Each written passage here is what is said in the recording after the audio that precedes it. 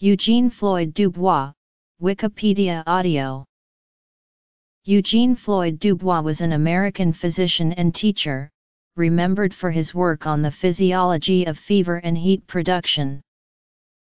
He graduated in 1906 from the Columbia College of Physicians and Surgeons.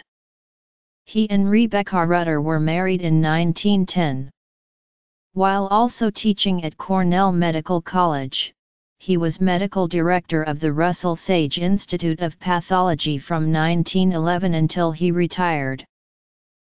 During World War II, Dubois was a captain in the United States Naval Reserve, where he taught gas warfare training and defense, aviation medicine, and deep diving and submarine ventilation.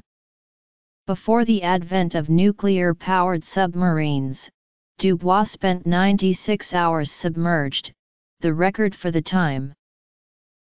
Notes Dubois mapped out basal metabolism for aging men, which he published in 1916. The Aub-Dubois table is still in use today. He was most proud of the concept, worked out with David P. Barr, that the body can give off as much heat with a cool skin as with warm skin.